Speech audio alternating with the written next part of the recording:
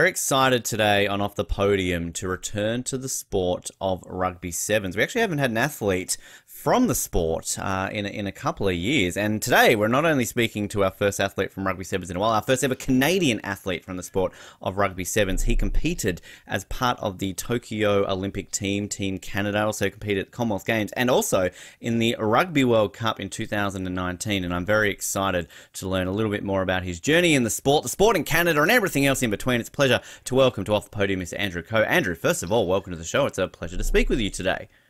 Thanks for having me. It's awesome to speak with you as well. Obviously, you're uh, you you live in Victoria, so we can you know chat a little bit about Victoria and what there is to offer over here. Yeah, I'm I'm I'm repping the Pacific FC jersey today. I was mentioning to you off that. I thought I'd go a little bit Yeah. more local, uh, sort of with that as well. I mean, you you're all based out in, in the same stadium, right? So the kind of you're essentially right there. So I, I'm I mean, do you actually get to sort of do you train or sort of you know bump into the Pacific FC guys, or is We- it kind of all you know not really around the same area? It- No, it's it's all. I mean, it's all under the same facility. We train on the same field. We bump into them, you know, now and again. Um, you know, we're quite friendly with them, um, so we see them all the time. But I actually haven't been to one of the games yet. So I think that's up on uh, what's next for me to go to in Victoria. Is I need to go to PFC game because it looks like a ton of fun, and you know, we train at the same facility, so I got to go support them.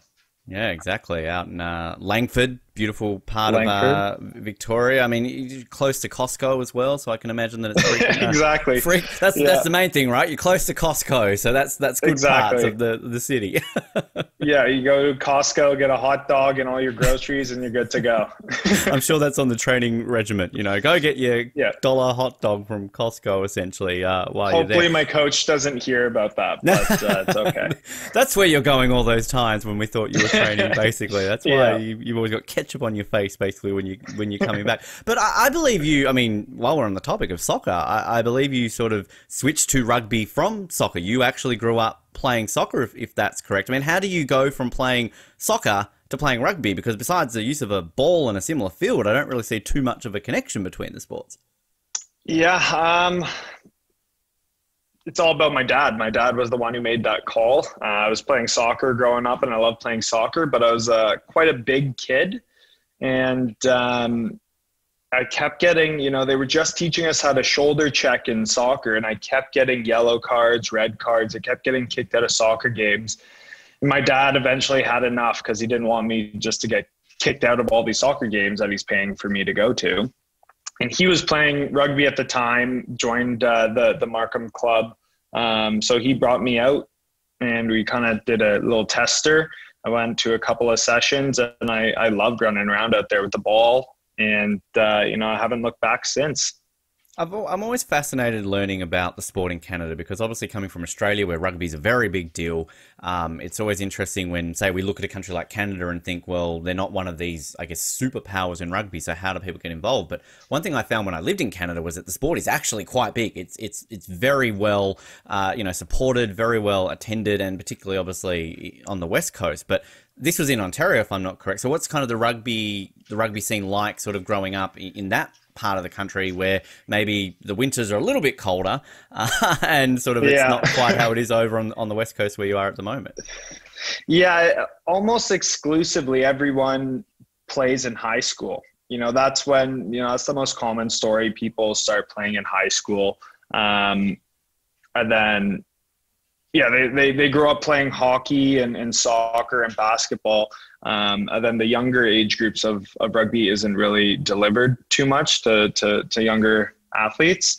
Um, so everyone starts playing in high school and then you know if they keep playing throughout university and, and there's a lot of strong clubs out in ontario as well but the weather is tricky you know we get down to minus 10 minus 20 in the in the winters so there's no rugby going on. So everything has to be condensed within you know you're looking at may to may to october and all of the rugby that's being done is done between may and october unlike out here on the west coast when you can play pretty much year round Hmm. so it's it's it's a bit difficult for for people over in rugby ontario to to navigate that but they do a great job um, you know getting people involved and, and engaged in the sport Outside of soccer and then and rugby, were you involved in any other sports sort of growing up, and then did you all of a sudden just go, okay, I've got to focus on my rugby now because this is taking me places?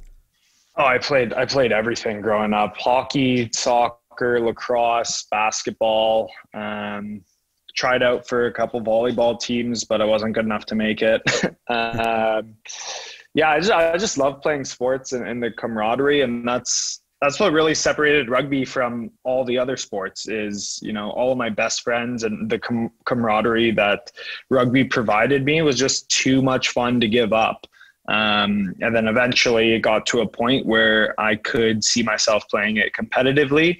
And that's when all the looks for universities and and age grade national team programs came up. And um, it, yeah it's it's been fun in that period when you're playing, is it is it mainly just 15s? I mean, was sevens much of a thing sort of during those initial years when you started playing? Yeah, it's mostly 15s. Um, there were a couple sevens tournaments growing up, but for the majority, it's just 15s, um, both at a club level, um, high school level, university level.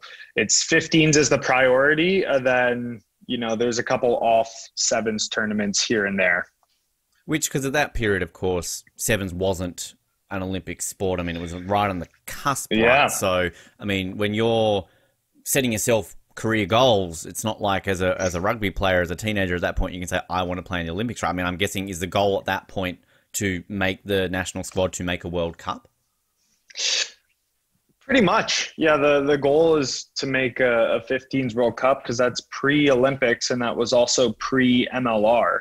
So you mm. didn't have a, a, professional setup in in Canada that players can strive towards. So it's there's some pretty big jumps back when I was growing up. You know, you go from high school into university um, then you go straight from club level rugby to the national team and in a World Cup and playing against the All Blacks, like the best in the world, and you you're playing, you know, James Bay or, or UBC on on the weekend, and then you go and play these top teams. So it wasn't until, um, you know, thankfully the Olympics they let sevens come into the Olympics and the MLR now that guys can look at those types of goals, which are steps to you know a World Cup or an Olympics.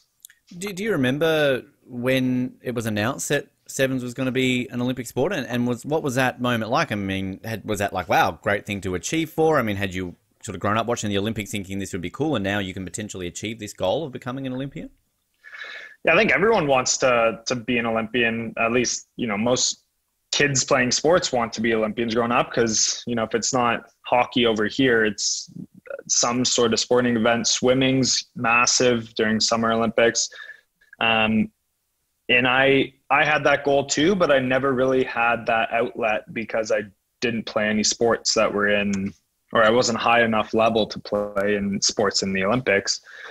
Uh, then they let rugby in, and as soon as they let rugby in, it it kind of flipped a switch for me that said, okay, you can really do this. You can, if you put your, your mind to it, you can become an Olympian and, and you can represent your country on the, the biggest stage of sport. And, and right from when they let that, uh, the trial run go in, in Rio, um, you know, it's something that I always wanted to do.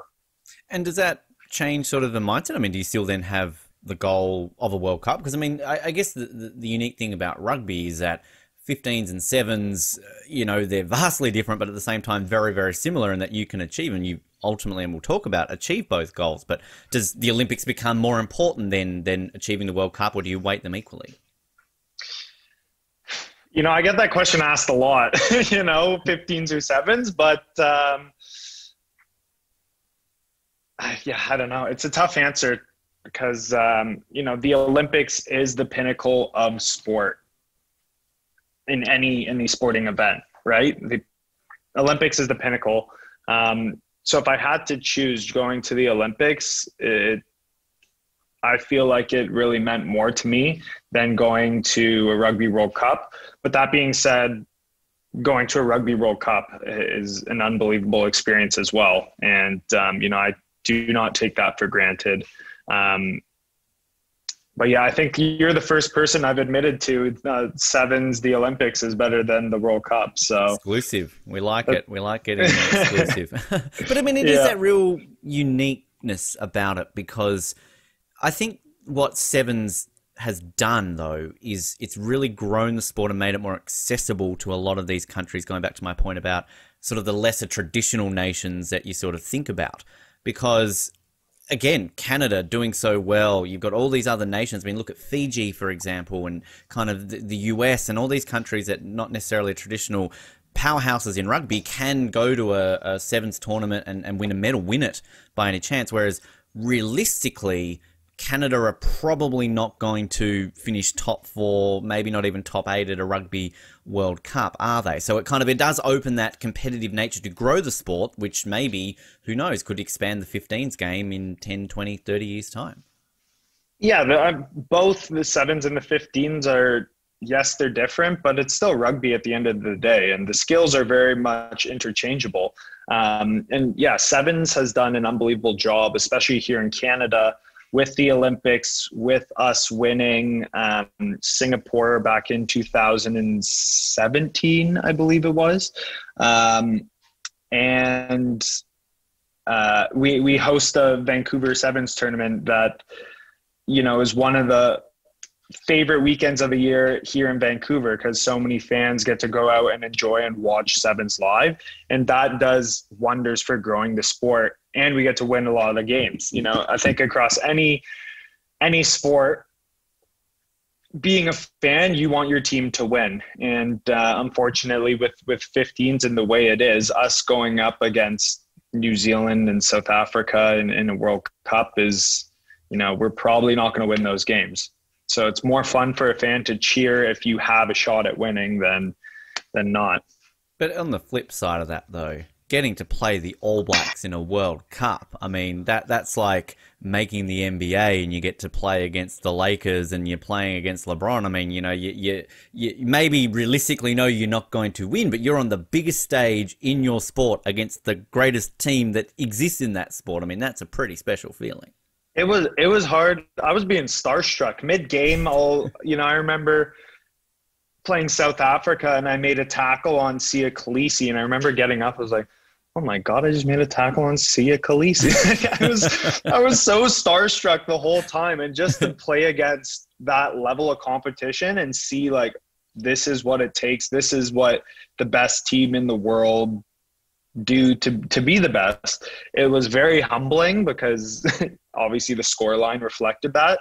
Um, but it, but it's an experience that I'm gonna remember for a long time. I ended up trading a jersey. Um, with Ben Smith for an All Blacks World Cup jersey. Nice. Um, but I didn't get my hands on a South Africa World Cup jersey. So wow. Well, there's still time. Regret. Yeah, yeah. yeah. Sort of. You got other ones, but I've always wanted to know what is it like standing in front of the All Blacks as they're doing the haka at a World Cup. I mean, is it as intimidating as it looks?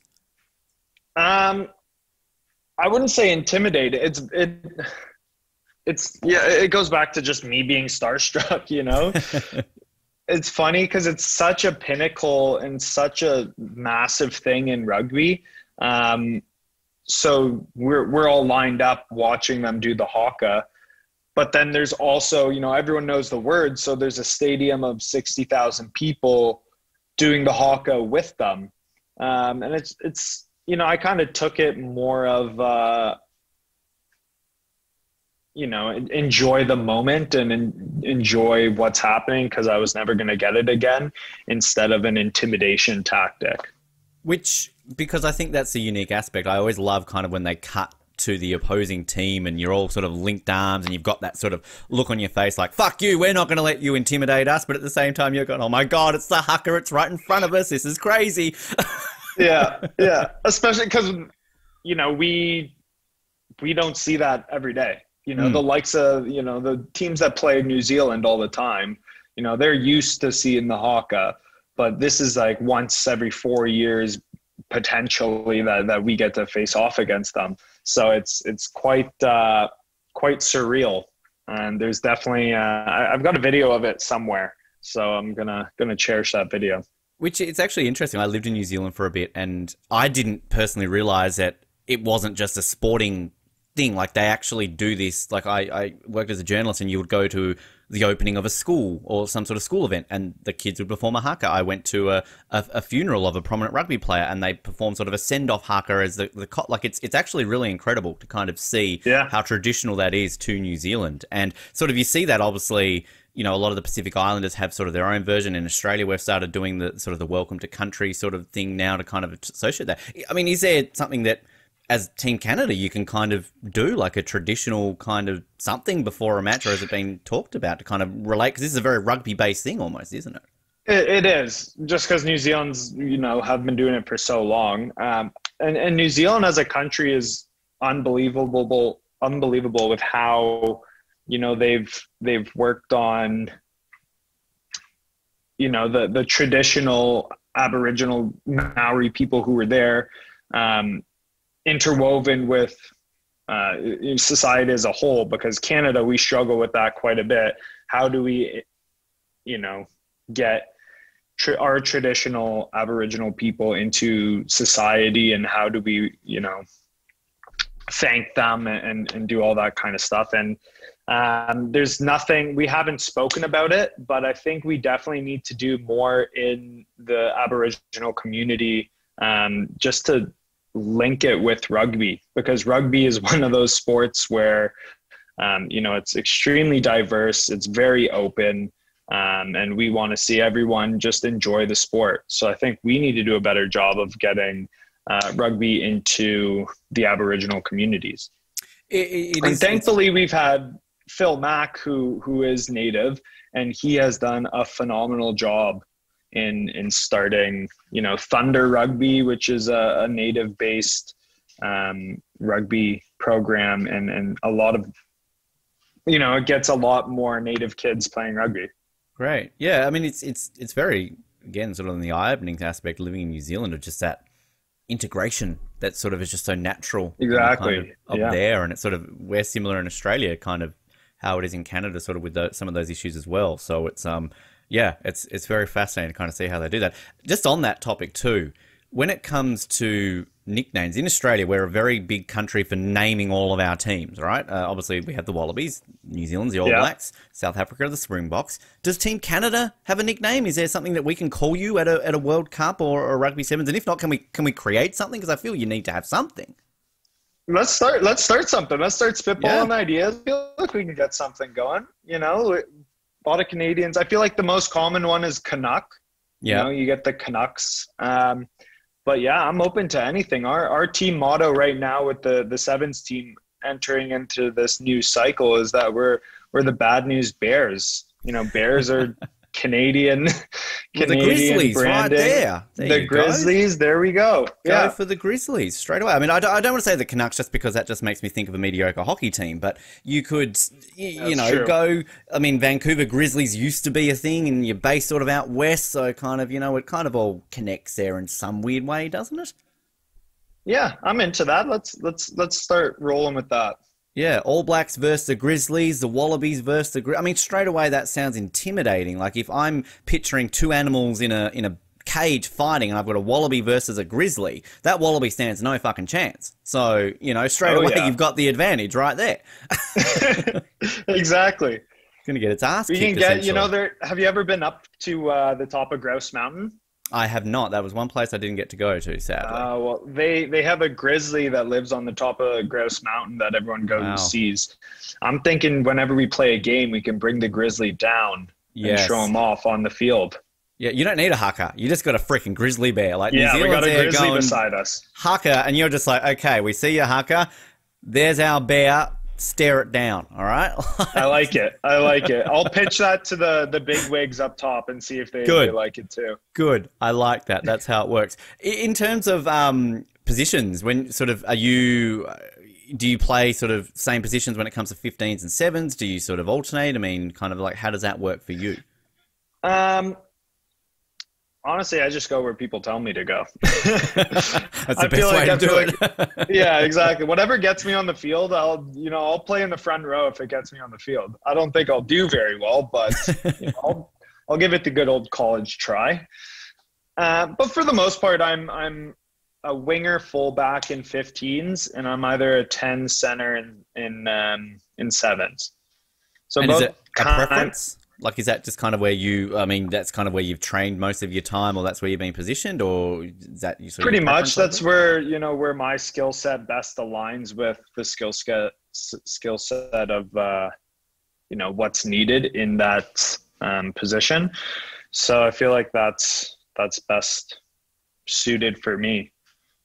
In terms of your progression through the sport, when you first get that call up to represent Canada, I, I believe one of if, if, it wasn't your first game, one of your first games, you you play against the Maori All Blacks, get man of the match in terms of that yeah. in, in the 15s. I mean, like what what's that experience like from going from the call up to to playing a, a, team like that? I mean, is that all of a sudden when you're thinking to yourself like this is this is happening? Those sort of dreams as I had as a young boy are kind of slowly coming into place.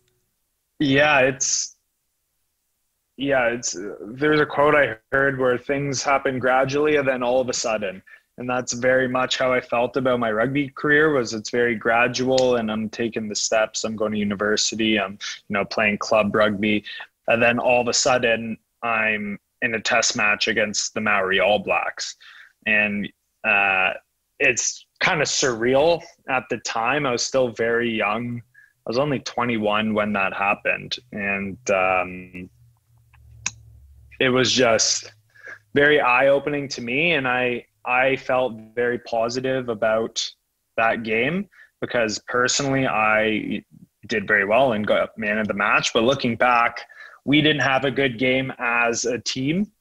And uh, I think that's how my mindset has changed from being, you know, the young guy on the team and, you know, it's all about how I perform and how I do into now I'm an older guy and it's like, this is way more of a team sport. You know, if I do well, it does it doesn't really matter unless the team does well. Because it's one of those interesting aspects, uh, a man of the match award, no matter what sort of sport it is that yeah if you you sort of particularly if you're in the losing side it's kind of it's one of those weird sort of things where you're like well, well how do i take this? Like i'm sure personally it's a great achievement but at the same time as you said it's such a team-based sport that ultimately it, it doesn't bring a difference to the scoreline at the end of the day. Yeah exactly. It's it's it was a tricky situation because we still lost like quite a bit of points um, and we had to go fly out to georgia the next week and we played georgia the following week in Georgia, which was uh, quite intimidating in of itself. Um, so yeah, especially being part of a a losing side and gaining that sort of um, you know accolade. Uh, you know, you kind of take it with a grain of salt, and it doesn't feel quite right in your mouth. That you know, it's yes, it's nice to be rewarded for doing well, but the end of the day, it's not what we wanted. We wanted a win. So I'm happy it happened, but uh, you know, looking looking forward, um, you know, it needs to be more of a team, get the whole team on board. It must be interesting. You mentioned going to Georgia. When I when I was in New Zealand, I did a story on the coach of the Georgian team because he was a Kiwi, he was from the area that I that I was from, and learning a lot about how much the sport is growing in Georgia and how it's nearly on par with, oh, with yeah. soccer in terms of how big it is there. Which, when you are playing a country like Georgia, which I guess in many levels is kind of similar to Canada and the global rugby side of things, right? It's sort of below the sort of the main group of countries. So, are those gains when you get those opportunities really important because this is where Canada can really show their worth against similar emerging nations that you are kind of competing with to try and be the next big big thing in the sport? Absolutely, all those all those sorts of games, Georgia, Romania. Um, every time we play the U.S., it's a battle of you know the who's the top North American team. Um, I feel like it's very important just on the Georgians. You need to kind of be given a cultural background on the team that you're playing, and I felt like we lacked that when we played them because you know, Georgia is a very proud country and a proud team. Um, and there's a lot of guys who, you know, they're, they grew up in some tough situations compared to all of us Canadians who were very fortunate to grow up in, you know, a nice, nice ecosystem. Um, so it's very like we need to do a better job of of learning about the cultures of the teams that we're playing, regardless of who it is, um, so that if we can understand our team, the team we're playing, then we can you know try and make a game plan to fit taking them down, so that we can still come on top with a win. Which also then takes you to a country like Georgia, which I can imagine that you never thought. Like if somebody said to you, "You're going to go to Georgia," you think, "Cool, I get to go to Atlanta, nice city, why not?" But uh, not necessarily yeah. to Georgia in Europe. Not not really a number I, one travel destination for most Canadians. I before going there, I could not point it out on a map. So it was very. Yeah. I just got on a flight and didn't really know where I was off to. Which does that make it then unique? Like I am not sure how much downtime you would get when you're going to an event like that, but like if all of a sudden you've got a couple of hours to spare and you're you're around Tbilisi or wherever you are, just kind of checking out some local Georgian culture must make it even more unique. Absolutely, rugby is such a global sport that it's not just Georgia, just taking me all over the world, and it's such an amazing place, and there's so many amazing people that you just want to dive into the culture, and even going to Georgia, which isn't the top of my bucket list I had an amazing time because the people there were quite nice. Um, you know, they want to share that culture with you, and our liaison officers do a great job of, you know, taking us to good restaurants. This is traditional Georgian food, and and really showing us the works around around the city. And it's that's probably what I'll remember most about my career playing is all the amazing places that I've been to. One of those places right here in Australia, Gold Coast 2018. Oh yeah, for the the Commonwealth Games. I mean, what was that experience like? And also, uh, too, I'm guessing that would have probably been your first taste of a multi-sport event because outside of an Olympics, I mean, rugby, what Pan Am's and, and Commonwealth Games, really, isn't it? So to kind of get that whole experience of not only being there for rugby, but you can experience everything that's going on around you with all the other sports too. Yeah, the Commonwealth is a warm up to the Olympics, and I think I was one of two guys on the team who have never been to the multi-sport a multi-sport games before. And it really it humbles you quite a bit because you're with all these other amazing athletes and everyone is so focused on their own sort of experience and their own games and their own matches that they have to play. Um, that it's it's unique to see and it's tough to get out of your head while you're there because you're so focused on your own performance but you really need to you know make the most out of your times there. But gold coast was an amazing amazing place. It did such a good job with um, you know the transportation that we could do. The village itself had you know had a barber in there. They had everything you could ask for in there. There's a bar for when people finish, you go drinking at the bar. It was such an amazing experience. Um, it really makes me, you know, want to do all the games. I haven't been to a Pan Am game yet. I really want to go to another Olympics. I want to go to the next Commonwealth Games. It really drives that love for for those big sporting events and it's a nice little stadium out there at Robina as well too, which is oh, uh, yeah. you know sort of one of their little. I mean, it was it was a great. It was really interesting. I remember when Gold Coast got the Commonwealth Games because the last time we had in Australia it was in Melbourne. You know, obviously our second biggest city. You've got the MCG, hundred thousand people, and kind of it was almost. I think they said it was a bigger event in the city than the 1956 Olympics in terms of competitors and everything along those lines. But wow. then the Gold Coast gets it, and it's sort of that isn't, I guess, what you would look at the cities of Australia and think that would be a choice for a Commonwealth Games. But it was it was beautifully held, and uh, the whole area was just so enamored by having the Commonwealth Games, and it was such a, a unique atmosphere because you're in this beautiful part of the country too. I mean, you've got the beach literally everywhere you look. I mean, and, and I know having lived in Canada, golden sand isn't something that exactly exists too much in Canada. No, it's all rocks out here. It's all it's very weird beaches. sand. It's like let's go to the beach. Like yeah. that's not a beach. It's a bunch of rocks in the water. Like that. What are you talking exactly. about? So how were those? Yeah, like, was... did you get much chance to kind of go to the beach and soak oh, yeah. up the Gold Coast? Absolutely. We we uh, head down to Surfers Paradise and we go down down the strip there, and it's it's beautiful, and it's it's nice to see the the entire city bought into the the Commonwealth Games. You know, everywhere we go, there's some sort of flyer about something, or there's stuff's on TVs in the bars, and they really bought in. The entire city bought in. Um, but it's such a yeah beautiful place. you know, we came from. It was held in April, so we just had eight months of winter. Yeah, and then we go there, and we're just thrilled that it's not zero degrees out. Yep. even though it's it's not it's not the best time of the year in Australia, and I'm sure there's some Australians looking at us kind of funny because we think oh, like the living in summer. Queensland in winter, like it's it's hilarious because it will drop below 20 and they'll act like it's cold. Um, so. Yeah. I mean, looking at the Brisbane Olympics in 2032, they're technically a Winter Olympics. It'll be Australia's first ever Winter Olympics because they're being held in winter. So, oh um, really? But it's it's Queensland. You know, they're they're saying is you know beautiful one day, perfect the next. That's kind of their slogan. So yeah. sort of. Oh yeah. There. there was I can't remember the name of it, but did you go to the the bar downtown in Surfers? It was like the Team Canada. It was like their little designated bar because I remember yes. going there and like yes, I wanted the poutine, I wanted kind of you know Nanaimo bars, and they had them all during the Commonwealth Games. Yeah, I I remember going to that bar, but we were only there. We we went there for just um, just like a meet and greet with fans and stuff like that. So it was a quick. We were in, we were out.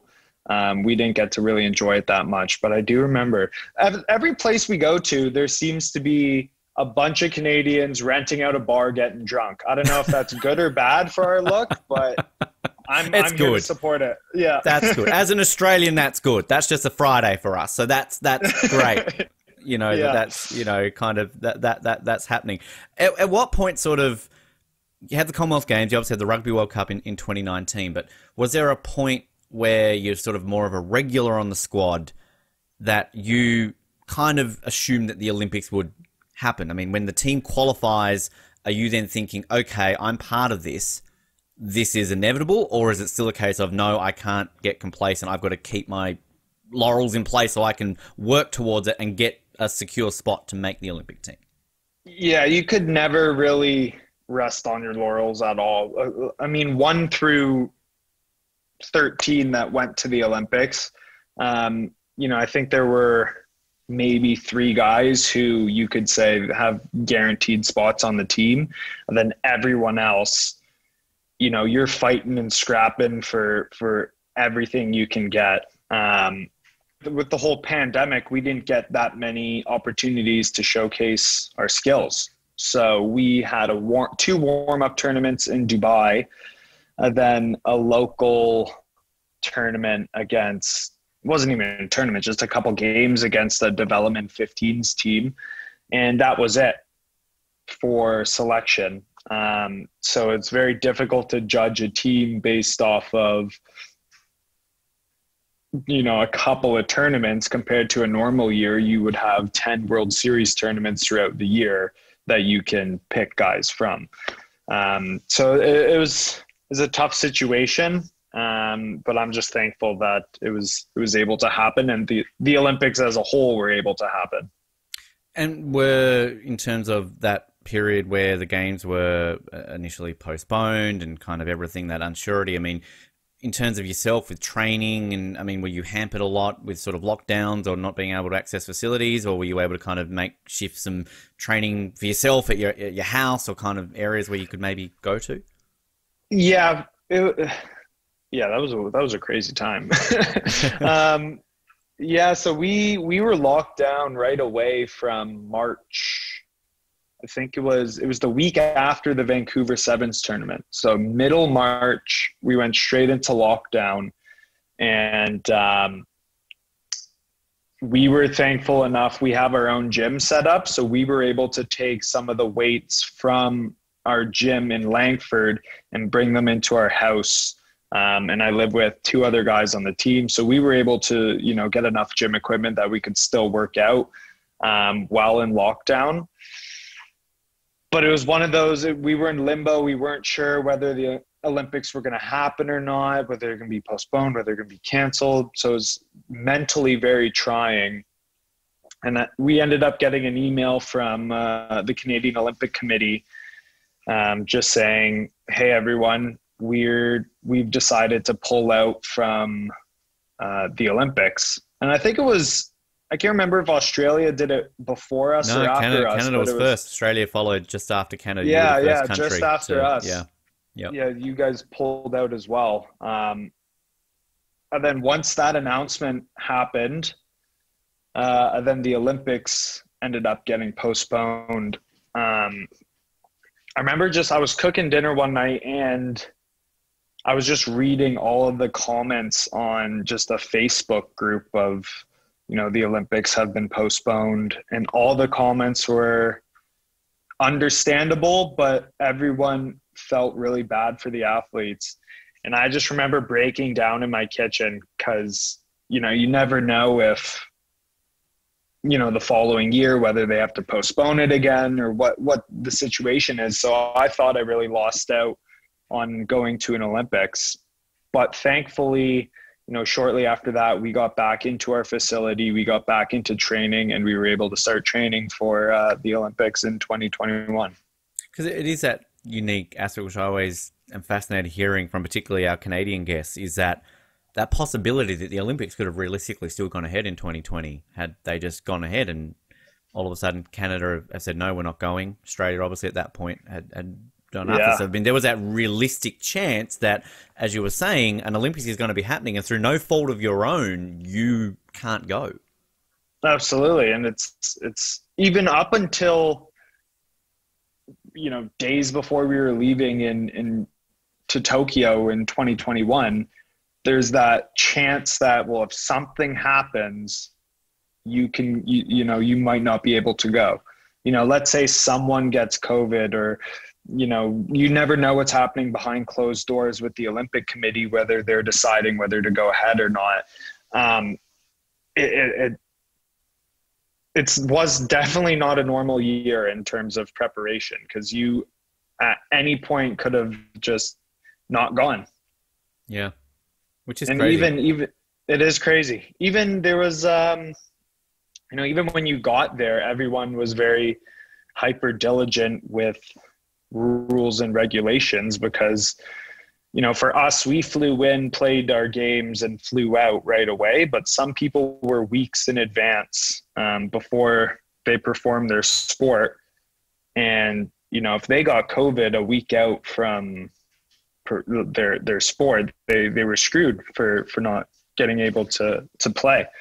So there was always that fear that if something happens they they won't be able to play which is really fascinating, actually, you mentioned that because the sevens program at the Olympics is, is very quick. It's played over a couple of days. And the men's tournament was right at the beginning. So, as you were saying, you're literally in and out. So, while at the Commonwealth Games, obviously different circumstances in the world, but you can kind of play your tournament in the lead up afterwards and soak in going to a, a bar, going to the beach, things like that. Here, it's almost like you're just kind of being ferried in, right? Sleep here, throw a ball here, get back on the plane, piss off. So can you really even soak in what it is like to be in an Olympics at that point, or was it just so weird that you couldn't really take that aspect in? Uh, well, we def. I'm gonna have to go to the next one to figure it out to compare it, right? Perfect. Yeah. But yeah. It was. It was so. We were originally supposed to show up in Japan two weeks before, the tournament so that we can get acclimatized and, and get used to the Japan humidity. Um, but because of COVID, we decided that we're going to fly in three days before we play. So we are there three days before. We played over over three days, and then we flew out the day after.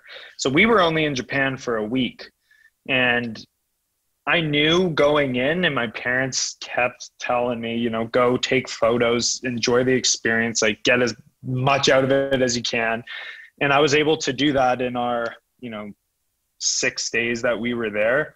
But it still doesn't compare to, you know, what a normal Olympics will feel like. So I'm definitely gonna have to go to the next one to to figure it out.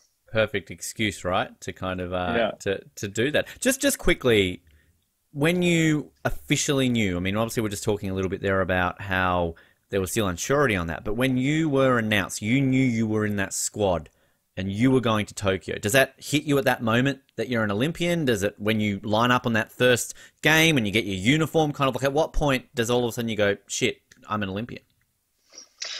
Um, well, I was in a bit of a unique situation. So the the team got announced, um, and there were 13 of us, but I was the 13th man. Wow. And in yeah, in the uh, at the time when that announcement happened, I was under the um, I assumed that the 13th man didn't get to play. So I knew I was flying to Japan but I thought that there was no chance I would be able to play unless, you know, God forbid somebody got injured before the tournament. So I originally thought that I wasn't going to be able to play and I wasn't going to be an Olympian. So that was quite difficult for me to take and that was a pretty pretty dark time and, and thankfully, you know, my friends and my family were there to to support me with that. And then over the next couple weeks, rules started changing that okay, now if you're 13th man and someone goes down in the tournament, I was able to play. And that gave me, you know, a little bit more positive headspace. And then it turned into, okay, if you're, it's just a squad of 13 and 12 get to get picked for each game. And that still like gave me more positive, positive mindset, but I still couldn't get on the field. Like I don't know whether I would get on the field or not. So it wasn't until I got on the field against um, New Zealand where I figured out, uh, or it was Japan, sorry, that I knew that I was an Olympian and all the emotions sort of hit me that night. Um, after that Japan game, um, and you know things worked out where I was able to play, and then that's when I sort of broke down that uh, you know I did something very special. It's unique to to go through those emotions because, as you're saying, I mean, there was every realistic chance that you're just there and, and you you're there to play. You know, it's it's all well and good to be wearing the uniform and being in an Olympic Games, but at the end of the day, if you're not competing, that's not what you're there for. So that that's a pretty incredible story to think that you, you know you went through those roller coasters of sort of achieving the dream but not really and then all of a sudden getting it sort of all ticked off in that game. Yeah and the the worst part of it was even when you know I was 13th man all I you know my only hope of getting onto the field was if one of my friends one of my teammates gets injured and it takes away from their dream. So it was a weird weird mindset to be at where you know i have to keep training keep trying to you know be at the top of my game knowing that i'm only going to get on if somebody else gets injured. So it was, it was very um, tough to, to think of it that way. Because you know, i never want to see any of my friends get hurt um, any of my teammates get hurt um, but thankfully, everything worked out for for itself. So that moment, then, I mean, just quickly back to the World Cup in 2019, you score a try against Italy. What do you take on board more as a personal achievement? Lining up at an Olympic Games, playing in the Olympics, or I mean, scoring a try at a World Cup must be a pretty special feeling. I mean, can you kind of compare each of them and take one higher than the other? Um, I don't know. They're both very special to me. Um, you know, the try that I scored against Italy was in that moment, I, I felt on top of the world um, and thought that, you know, I've done it. I've accomplished everything I've wanted to accomplish until I went to the Olympics and got onto the field then. And then I said to myself, all right, you've, you've done it. You've done what you've always wanted to do. So it's, it's kind of, I don't know, it's incremental and uh, you know scoring the try against Italy, going to a World Cup, playing against South Africa, who ended up winning the World Cup, playing against New Zealand, just being there um, was pretty special. Then going to the Olympics in the same country, yeah. in Japan, um, is also just a lifetime achievement. So I'm I'm I'm, I'm I should apply to be Japanese citizenship at this point because I'm all on board. The people of Japan are amazing. They host amazing events. Um, you know, I want to go back to Japan just to visit um, and see all that Japan has to offer. Which, if I'm not mistaken, the next Rugby World Cup is also in France, and then the Olympics in France, right? So it's kind Absolutely. of this weird six degrees of separation where you have a World Absol- Cup in the same yeah. country the year before the Olympics.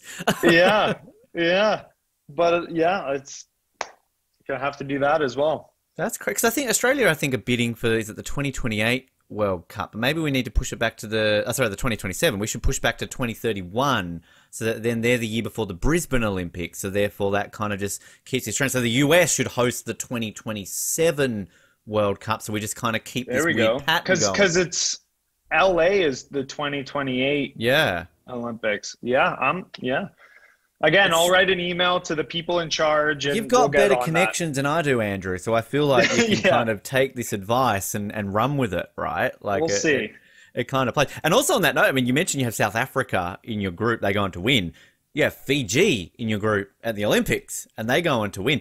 Now, that game was pretty epic for, for Canada up against Fiji. I mean, you were leading, if I'm not mistaken, at one point, were you not? Um, and only lose the game 28 to, to 14 against the reigning champions, the eventual Olympic champions. I mean, how big of a game was that for the for the team, and then that ultimately leads into that Japan game where you play and you, you do enough to make it through the quarterfinals. But that performance against Fiji, I can imagine the the mood amongst the camp, despite losing, must have been pretty high to take it up to the Fijians that way. Yeah, I mean, we were pretty disappointed with how we played against Great Britain. We came out very flat and and didn't put a good showing in. So we knew that if we wanted a shot at, at getting through to the quarters and getting a medal, we are going to have to put two good performances against Fiji and uh, and Japan. Um, unfortunately for us, we we were able to do that, and then it was a nail biter for us watching that Kenya and Ireland game. Just so we had to go through on points differential, and we were just scroll. We didn't have the game live; no one could watch it live but we're just refreshing our Twitter feeds, trying to see what the score is at, what's going on. Because uh, we needed, I think it was, we needed Kenya to win or by less than five or less than seven. Wow. Something like that in order for us to get in. And then they ended up winning winning by five. And we just once that news came in, it it the whole team thought they were on top of the world because we still had a shot at winning a medal. And was that the goal? Was that sort of you all went into Tokyo with medal on the mind? Yep, absolutely. Similar to uh, you know the women's team, what they did in in Rio with getting a bronze medal. We just thought, why not? Why can't we do that? You know, the sevens is one of those sports where anything can happen you know the last world set world series tournament in vancouver we ended up winning bronze and we took down fiji we took down south africa um, and ended up getting bronze medal so we were right there for the taken which is this is why i love sevens and i mean look i come from a not really a rugby part of australia i'm more in the australian football part of the country which doesn't mean i still don't follow rugby obviously i, I still love the sport but I always like watching rugby at the Olympics more because it is that competitive nature where I can see a Canada win a medal. I can see Fiji. I can I can see these nations. Whereas, again, as I said before, realistically, I'm not going to see Canada go on to a Rugby World Cup final. It's it's not really going to happen. So it is that excitement I feel that sevens brings of yeah. that competitive nature, so that an Olympics is a little bit more open Exactly. And look at look at the Argies. The Argies are, you know, they're a good team. They're, you know, around eighth in the world normally on on the World Series. And then they come out and get a bronze medal and put a yeah. performance of their lifetime out there, get a bronze medal. That that story is unbelievable. And that's what sevens is, you know. You anyone can win on any day. But at vice versa, anyone can lose on any day as well.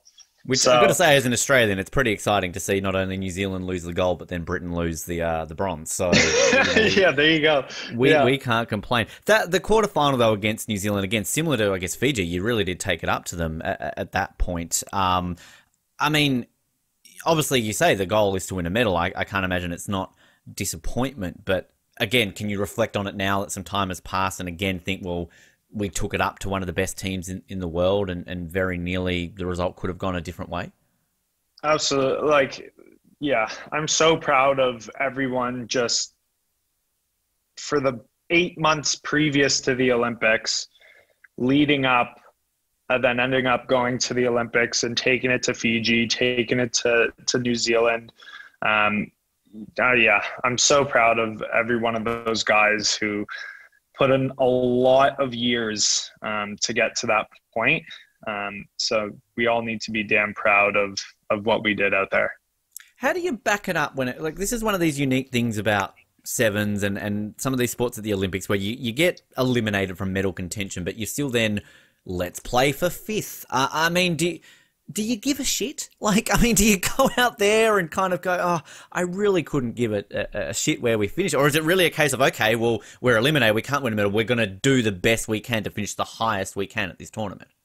Oh, we definitely care because it goes. It, it's not. Uh, I mean, yes, it's awesome to to get a medal, but us performing better at the Olympics also means us getting more funding from the government to give us, you know, better resources. So we were still fighting for, you know, being able to say we were a fifth place team at, at the Olympics, um, you know, instead of being an eighth place team. So we're still fighting for those last couple games because you never know what's going to happen. Um, but those two games, we we kind of thought less about the outcome and more about just enjoying and leaving it all out there for each other because we all knew, you know, that group has been together for the past, you know, seven, eight years. And uh, we knew that a bunch of guys were going to retire and that it would be their last times ever playing for Canada. So uh, it was quite emotional, and, and we all wanted to put in a good showing for each other. Which I don't know if this is the part where, as an Australian, I'm meant to apologise for the fact that yeah. Like, I, I, don't yeah. know. Um, do I need to, Andrew? I can if you want. No, to, that's but... all right. That's all right. You know, couldn't have asked for more. Which, which I mean, we, we got revenge. The girls beat the US in for fifth, so I guess kind of you're welcome on that side of things. Yeah, um, thanks, thanks. That, yeah, do that, well. Yeah, that, that kind of it's even. It's even now. Yeah, as long as long as the Americans yeah. or the we we have uh, yeah we have Australia in our pool in Dubai in a couple months. So uh, right, you know if you, you you want to talk to them, say you know maybe take it easy, make sure that we get uh, we get through to the corners. That'll be good. I, I, I will hook you up. I, I, I, okay. I, don't know how my connections kind of play on that one, but I'll, I'll, I'll definitely see what you what I can do there. So, I mean, moving forward, you also got you know Dubai World Series and that sort of stuff, but Commonwealth Games in 2022, and then as you mentioned a few times, sort of Paris. Kind of that's just these are sort of the goals that you keep kind of working towards now. Yeah, absolutely. It's a it's a new group of guys. Um, you know, from the team at the Olympics, there's only five returning players, um, and everyone else is is new. Um, so it'll it'll be good. It'll be definitely a learning curve for a lot of people going from playing club rugby straight into all right now we're in Dubai playing for in front of a ton of fans. Um, but this year will be there's 12 tournaments. There's the 10 World Series tournaments, and there's Commonwealth Games, and then I believe there's also the World Cup of Sevens um, down in South Africa next next September. I want to say. Um, so there's a ton of rugby to be played, and, and all these young guys are just itching to get out there and and and uh, you know put a good showing forward so that we can you know do a bit better than we did at the Olympics in Paris. And with how the scene is now, do you still keep an eye on the 2023 World Cup, or is this sort of you, you mainly focus on the sevens? I mean, is it possible to kind of be able to, to focus on both, or does it come to a point where you can kind of only really choose one over the other? Well, unfortunately, um, Canada lost to Chile a couple weeks ago in um, World Cup qualifications. So Canada won't be at the 2023 World Cup in, oh. in France. Wow. Yeah. That's yeah. That's, that I didn't know that. That's got to be one of the first times in a while. I feel. I feel Canada's always a As the first. the... Yeah, this is the first time they've ever not been to a World Cup. Wow. And to Chile. I didn't even realize Chile played rugby. No offense to I our know, Chileans. I know, yeah. Wow. Uh, okay. They, yeah, the Chile's Chileans put on a very good showing over the past year. They've taken down an uh, Argentina A team. They took down a Georgia team, I believe. So they've been really up and coming. And wow. uh, yeah, unfortunately, that means that we lost out on a World Cup spot. Which, I mean, obviously, you don't want to miss out on a World Cup. That's obviously very disappointing. But in some weird way, can that then, now that the country can switch purely focus on, say, the 2024 Olympics, do you think in some weird way that can help? Or are the 15s and 7s so separate that that doesn't really affect the 7s program? Um, it shouldn't affect the sevens program too much. Um, you know, I'm pretty biased, but you know, I think that they should switch focus and try and get people into sevens and try and buy in on the sevens side of the game because, you know, there's still an opportunity for us to go to the Olympics compared to a World Cup. But I know Rugby Canada, from their perspective, they value the 15s game a lot more than they value the sevens game.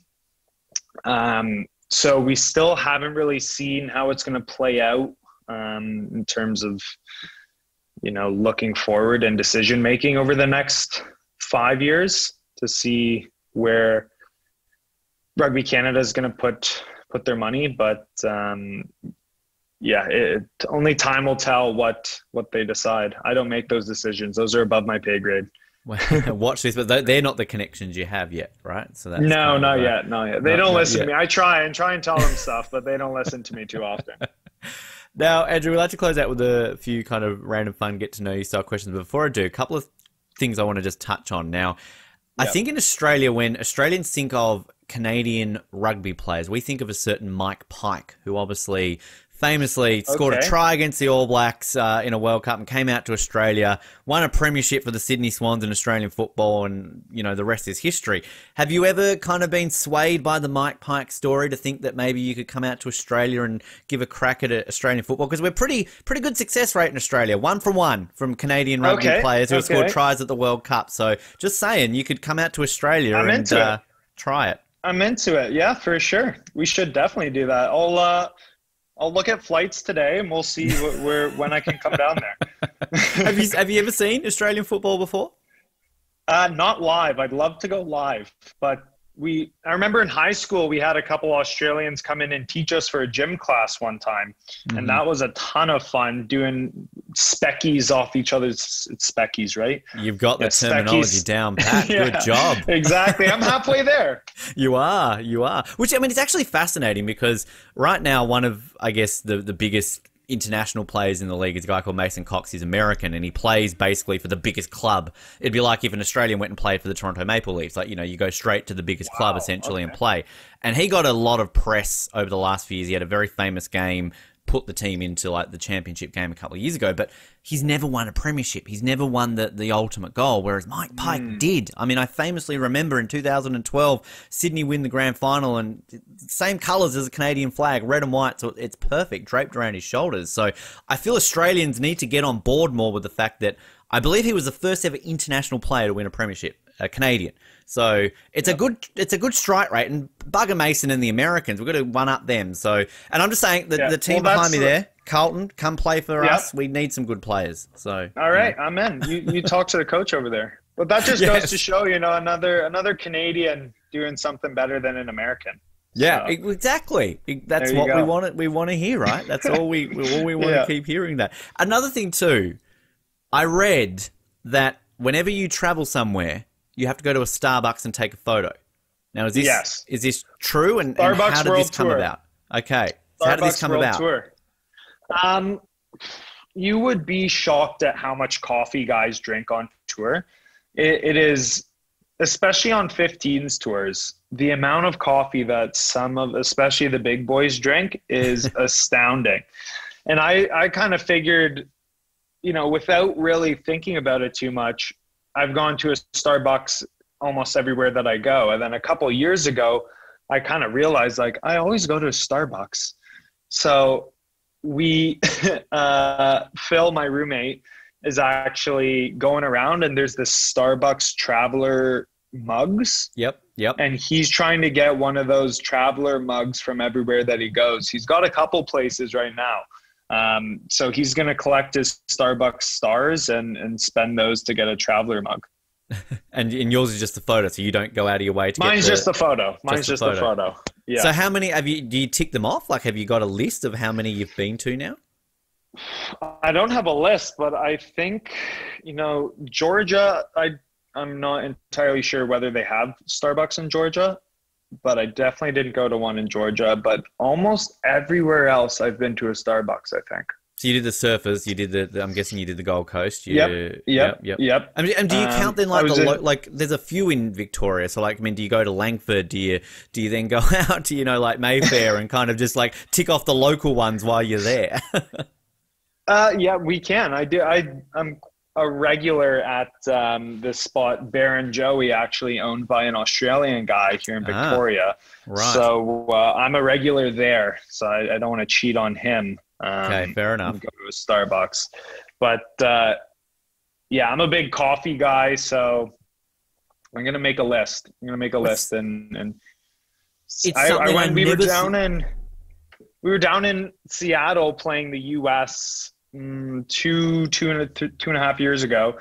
And the one thing I wanted to do was I had to go to Pike the Place, original Starbucks The original one. Yep. the original one and then we ended up doing it and i took more than enough photos for for a lifetime down Did you have there. to line up? There's always a line around the block, isn't there, to kind of get in there? yeah yeah yeah it was like a yeah it was like a reserve one yeah it was it was i So I, I, remember they and they they come up to you, don't they? Because they're like, "Are you here for coffee or merchandise?" Like I swear they like ask you, and I remember going, "Um, "Can I not have both? Like, or do I have to choose? Do I have to like buy a coffee Yeah. then reline up to buy a mug?"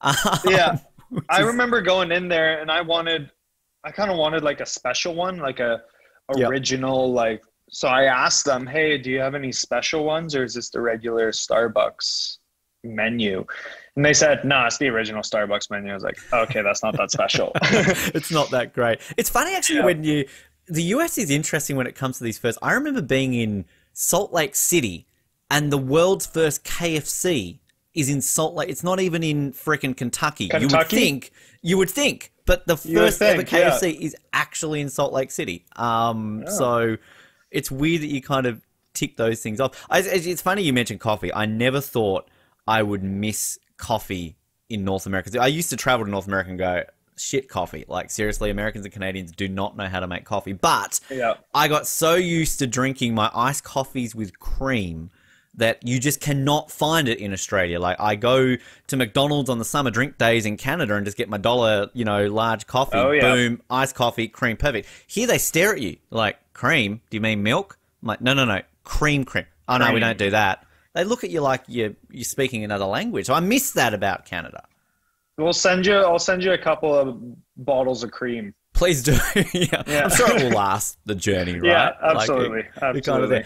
Do you, do you I feel you need to start like a, a separate Instagram or something for your Starbucks photos. Like I was be like- doing that for a little bit. I was doing uh, a Coe's Coffee Corner, is what it was called, and uh, I was taking of taking photos, not necessarily Starbucks, but coffee places around the world that I've been to. right. And then I've slowly kind of merged it with my my actual Instagram page. So now I just post all that on my actual Instagram page. But we haven't traveled in a bit, so I haven't been able to to show off my my coffee experiences. I feel like I just need to ask the standard question: How do you take your coffee? Like, what what's your go-to order? Right now, I'm big on oat milk lattes. Oh, okay. Yeah, yeah. Right. Um, I normally I normally get like uh, Americano misto, so Mhm. just Americano with a, a bit of steamed milk on top. Yep. Um, but I'm not too picky. You know, I'll take it however they want to give it to me. Well, I just I want to pass on another note just for for Canadians, Americans, any part of the world that make the flat white incorrectly. Uh, Okay. Flat white has no foam. That's why it's called a flat white. So stop putting foam on flat white Starbucks. It's not a thing. Oh, okay, you heard it here first. it was it was actually hilarious. I remember when it made the news in Australia when Starbucks started doing the flat white. Where we literally sent Australian journalists to like New York to get it because it's a very Australian drink, the flat white. Yeah. And basically, the first story was like, "This isn't a flat white. There's foam on it. Like you're doing it wrong, America." Oh no. so, yeah, Ugh. just just got to point it out there. Uh, Andrew, as I said, we wrap up each interview with a series of fun, get to know you style questions. Now, as always, we use these from a questionnaire that Team Canada gave their athletes ahead of the Rio and Pyeongchang Olympics. I, as we're aware, Oh, they didn't okay. do this for you guys ahead of Tokyo. Now, I'm using this off a, uh, a fellow rugby player. Uh, I've got Okay. Bianca Farella. Are you familiar with Bianca at Yeah, all? yeah, yeah. I know Bianca, great. yeah. There you go. So uh, I can tell you what she's answered if you if you want to know as well. Yeah, we can uh, compare. exactly. And as always, there is a if you want to homework. There's a drawing element. If you really want to draw shit, you can. We can put it on our social media. If not, it's fine. The first one here is literally draw a picture of yourself, and Bianca's like drawn a, a circle with some squiggly lines, which I'm thinking is meant to be a head with a smiley face on it. So I can almost guarantee she would draw better than I can. Okay, well, Yeah. now I'm kind of intrigued to see just exactly what you draw. Um, first question: If you could choose any Olympic host city, where would it be? Oh, it's got to go back to Toronto. I'm from Toronto, and uh, they have never hosted an Olympics, and I think it would be an amazing spot for a, a Summer Olympics. Came very close in 2008, so it's sort of uh, yeah, yeah, yeah. one of those those ones. Just on that, there's usually, and I don't know if this will be on this list, but um, there's usually a question of growing up, who was your favorite sports team? So, are, are you a Leafs guy? Does that what I? Absolutely. Un- un- yeah, I'm unfortunately a Leafs guy, so uh, I go through the same struggles every year. I think they're going to go to win a cup, but um, they always lose in the first round. So I'm on board for for being a Leafs fan this year, and we're probably going to lose, but I'm ready to be hurt again. My, my my co-host Colin is a massive Leafs fan, so I like to give him shit. I'm a I'm I'm a co-Flames Ducks fan, but uh, Okay. so kind of go there. But if you if you look behind me, I do have the one. Where am I pointing? The Raptors. So you know I do at least. Rep, Oh yeah, there you go. You know, somewhat Toronto. So kind Nice. of uh, go that way. Um, in your spare time, what do you most like to do? Um, big Netflix person. I, I love watching uh, almost any show. Netflix, Crave, HBO. If anyone has any show recommendations, you have any show recommendations? I'm I'm here. I'm all ears. Are you, Um, are you but I purely just like fiction, or do you like documentaries as well? Like kind of do you? I like it. I like it all. I love trashy reality TV. I love dark dramas. I love murder mystery. I love everything. Great. Well, I mean, I'm a massive Formula One fan. If you've never checked out F1 Drive to Survive, Oh, uh, that yeah. I think they should do one of those for the seven series. Yeah, I think that would absolutely. do very well. hundred percent. I mean, that's the great thing about Netflix. Because I mean, there's so many different sporting documentaries now that they can do, and it's sort of. For sure. I, I agree. I think that would be fantastic, and and I mean, Yeah. we're seeing F1 is growing in North America because of Drive to Survive. So why not do this for a sport like rugby, which has already got probably more of an impact exactly. in the continent and grow. I'll, I'll like- add it to the list of uh, people I Yep. need to email. Please, you're going to be very busy after this interview. I feel I, like yeah, I am. I am. a lot yeah. of- a lot, of homework. emails to send. Yeah, I didn't think you were expecting this from uh, from doing this chat. Basically, No, um, no. the weirdest instruction a coach ever gave you was Oh man. Um, try not to sewer any of my coaches here. well, they know you go to I- Costco, so I mean, kind of, you know, you've you've started. Yeah. I remember we were in uh where were we? We were Romania, I think. On like an under under 17, under 19 tour, something like that. And the food that we were getting wasn't the best food. You know, lots of guys were going hungry. We were getting very basic stuff. Um, and then our strength and conditioning coach said, go out, eat some McDonald's, just get as much calories into you as you can. And that is the only time I've ever heard any strength and conditioning coach say, go out and get fast food. And I'm gonna hold it. I'm gonna hold that to um. Anytime I eat fast food, I'm gonna say, "Well, that's my one strength and conditioning coach said that." Yeah, bloody hell, either that or just always want to play in Romania. like fuck, I can eat Yeah, McDonald's all I exactly. want. Yeah, should go play over there. Yeah, exactly, exactly. Go over there and play in the leagues and stuff like that. McDonald's all the time. Coach says it's okay. That kind of uh, that works. Uh, what is your favorite workout? Workout. I love doing those spin classes. Ah, you know yes. the, the ride spin classes because there's just music blasting it's very dark in there no you can't really see anyone so it's only you who you're kind of racing against and it's very like it's very dancey in there it's like a club but you're on a bike yeah, yeah. well, more of them should exist, right? Bikes and clubs, like that's a Exactly. Thing. Add it to the list. Homework. Do some Add it research. to the li- there we You go know? It's a long list make make the Langford nightlife a thing, right? You know, Like, just exactly going Yeah. out that way and going to bike nightclubs. That that kind of uh, that works. If you could have lunch with any one person, who would it be? lunch with any one person well it's got to be the most famous person right now dwayne the rock johnson one Oh, yeah. because i want to see how much he eats Yeah.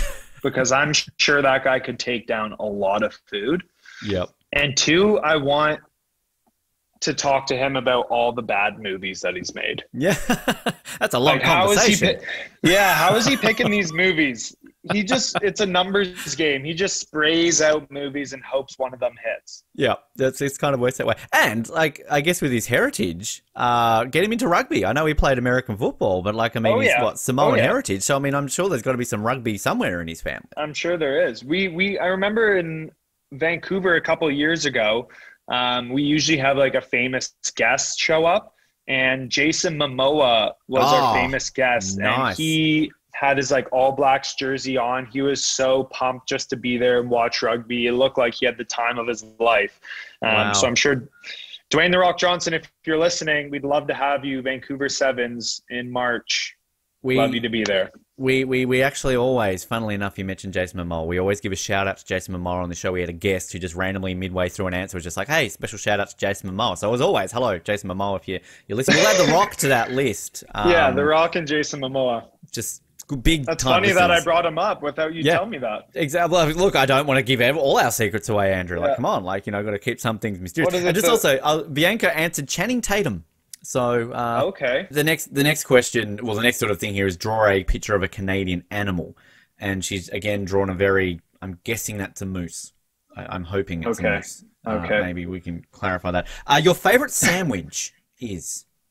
Oh my goodness. Um, we used to go. There was a tournament down in Vina del Mar in Chile, and we would stay at this hotel, and they had the best club sandwiches I have ever had in my life.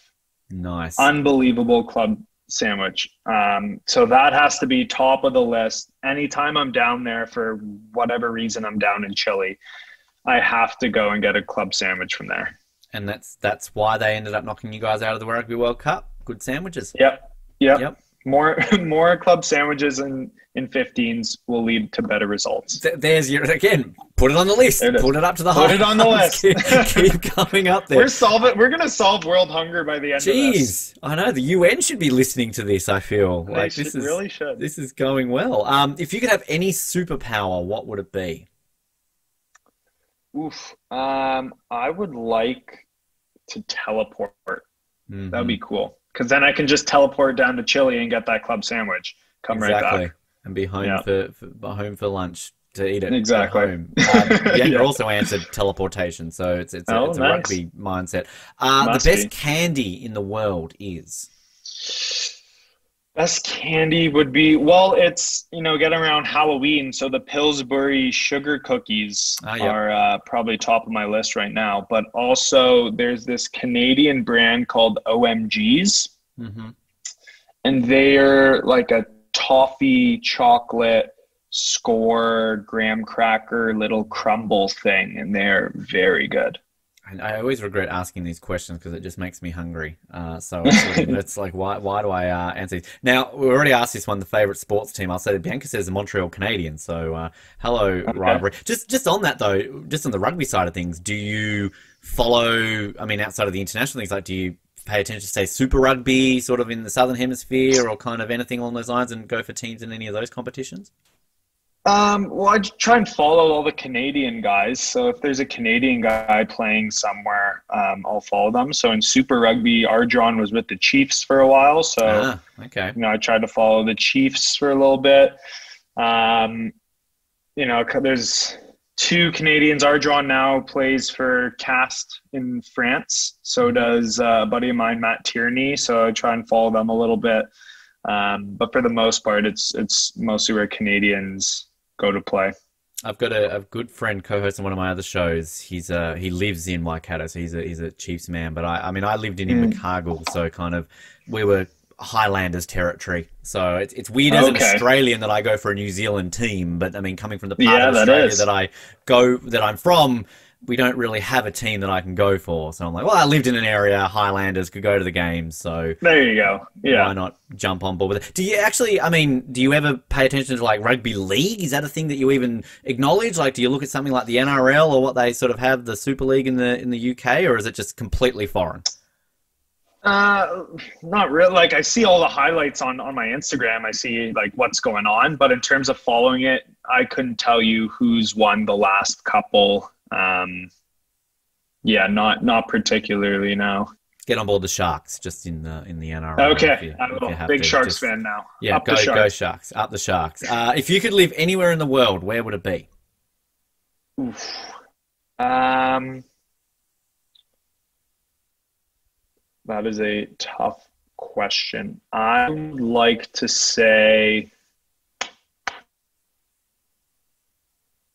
Oh man, I don't know. Italy seems nice. I've never been to Italy in my life, but okay. it seems like a beautiful place with lots of culture, very good food, good coffee, relax, good coffee. There we go. Yeah, yeah. Let's go with that. Sure, sure. Bianca says New Zealand. I, I don't know if I should be impressed or offended. Um, yeah.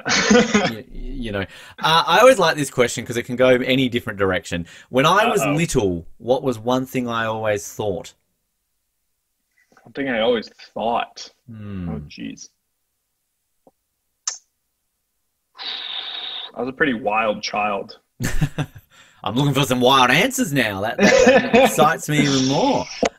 oh, I don't, I don't know. I, I feel like when I was younger, there wasn't a lot of thinking being done. It was more acting. well, there's the answer. I didn't uh, think. I just did.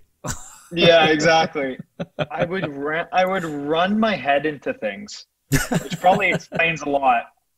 Me why you were getting yellow and red cards and going to exactly. rugby. You just wanted to hit people and run into things. Yes, I'd run my head into all. I used to just run my head into my mom all the time, and she would hate it rightfully so, but I would just always do that. Wow, they might do a, a, head scan of you one point and look at this. Oh, concussion, not from your rugby days. It's from headbutting my mum all the time. yeah, exactly. Where did that come from, basically? That's where, yeah, that's where the whole rugby started. Uh, now the final one here again. This is this is one that you've already got or you don't. Like I, I feel this is kind of one way or the other. What is your favorite joke to tell? Uh, the one I usually go to, my go-to is um, there's a uh, there's a German ship off the German coast, and okay. uh, he ends up hitting a rock, and he starts going down, and the captain of the ship grabs the grabs the mic and just goes, "Help! Help! I'm sinking! I'm sinking!" And then the the Coast Guard, German Coast Guard, grabs uh, the mic and messages back, "What? What are you singing about?" That's it. That's it. I'm going to clap that. That's pretty good. um, I like that one. That's that's very yeah, good. That's um, the only one I got. So oh, use it. That works. Yeah. Um, Bianca's is what's orange and sounds like a parrot. What's orange and sounds like a parrot? I have no idea. A carrot. I mean, that's a good one. That's yep. a good one. Dad jokes wow. always hit. Jesus, rugby players are great comedians. I feel yeah. that uh, we, we need to, to go on that.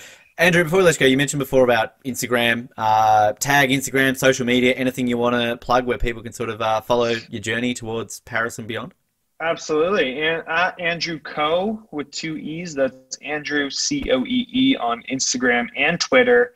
Um, I'm not well versed enough in social media to have TikTok, so I'm sorry, all the TikTok fans. It's just Instagram and Twitter. one day, one day. Again, as I always one say, my dad joke for that is I thought TikTok was a Kesha song. So, um, Yeah, but that's a good one too.